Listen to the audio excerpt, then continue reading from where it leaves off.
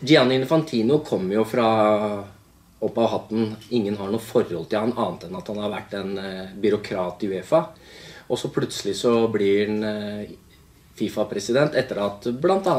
Eh, Norges Fotballforbund har promotert han og ønsket han. Og han kom jo i en tid der det har vært arrestasjoner i Fifa. Forgjengeren Sepp det måtte gå fordi han var korrupt.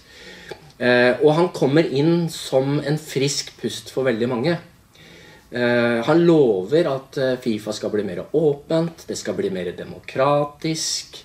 Og han skal utvikle sporten sånn at flere og flere land f.eks. kan arrangere VM eller mindre Fifa-mesterskap. Men så skjer det noe Men han er en urutinert leder, og han har ikke så veldig mange stort nettverk i fotballen, bortsett fra det å være byråkrat. Og det gjør at han blir et veldig lett offer for sterke krefter som ønsker å påvirke fotballen, som ønsker å ta over fotballen. F.eks. Eh, Qatar, Saudi-Arabia, eh, andre land. Eh, og samtidig så ser du at han går fra å være en usikker person til en som har lyst til å være sammen med statslederne, og kanskje bli oppfatta som en statsleder sjøl. Så det du ser, er på en måte at, at Gian Infantino har utvikla seg til å bli en uh, autoritær leder med utgangspunkt i en person som egentlig er veldig usikker. Det er i hvert fall min oppfatning av han. Så har det kommet karakteristikker at han er narsissist, uh, veldig selvopptatt og sånne ting. Og det er noe jeg kan bli med på i en stor grad. for det måten han behandler pressen på, måten han profilerer seg på sosiale medier og sånne ting, er at det er veldig, veldig mye fokus på han som person. Eh, og at han er sammen med både fotballkjendiser, men også statsledere. Så han har kommet fra intet, eh, nyter eh, rampelyset. Kanskje han føler at, han fortjener mer skryt for den jobben han har gjort tidligere, og at han kompenserer for det nå. Måten du karakteriserer han på, kunne du brukt det stempelet på en god del andre ledere, også norske ledere?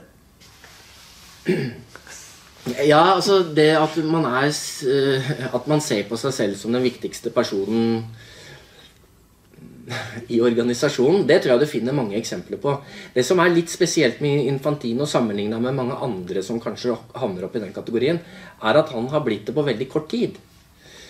Eh, ofte så ser du idrettsledere som eh, kommer fra idretten, og som etter hvert utvikler litt autoritære eller totalitære eh, egenskaper.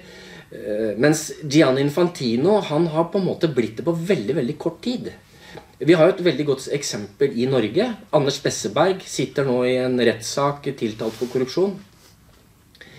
Han blir jo karakterisert av alle som kjenner han, som en person som i starten av perioden var med på å utvikle idretten, hadde ideer for idretten, likestilling, uh, The Biathlon Family, uh, blir kalt for Mr. Skiskyting og sånne ting. Og så plutselig så kommer det til et punkt der han ikke er sånn lenger.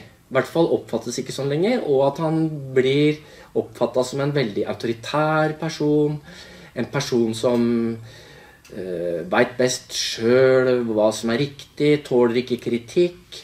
Omgås med personer som kanskje han ikke burde ha omgått med. og sånne ting. Men det har skjedd over 25 år. Så hvis du ser på Infantino, hans fartstid som leder, og måten han har utvikla seg på, så har han blitt en autoritær og totalitær leder på en veldig, veldig kort tid.